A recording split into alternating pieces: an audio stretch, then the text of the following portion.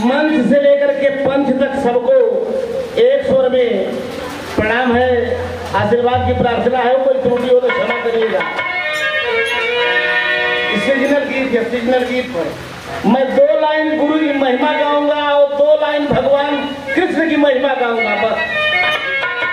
अपने समय के अंदर।